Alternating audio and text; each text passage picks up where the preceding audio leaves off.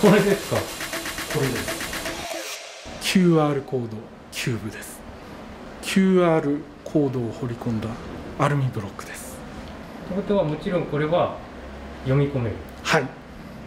6月22日から東京ビッグサイトで行われる機械要素技術展という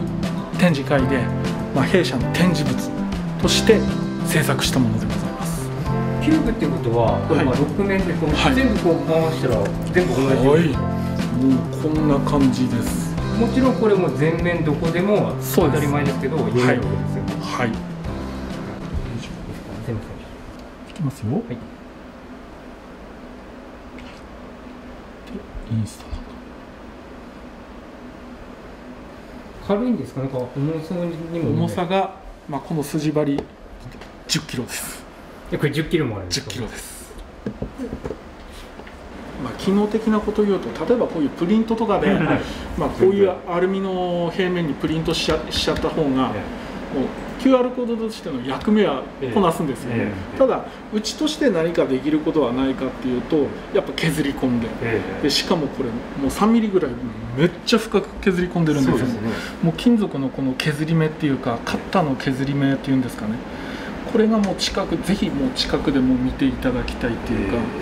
でこれぐらいまでやるのにやっぱそれ相当の時間もかかりますし刃物もやっぱ結構使いますし、こういう何気ないクオリティっていうんですかね、ええ。これをもう展示会なりまああとはもう SNS なりはい。ウェブ上でこうできることならもう見ていただきたいっていう工場長が「い。やもう6面体にしよう」もうアイデアどこからどこから見てもこうねあなんか面白いもの QR コードあるなみたいな見えるかなと思っただけだったんですけどもともとは社長があのそういに削り込んで作ってみようっていう話だったので、QR コードかざした時にもう読み込めた時のその気持ちなんていうのはいかがですか？もう一言で言うと「ウェーイ」ですよね「ウェーイ」っていう感じで。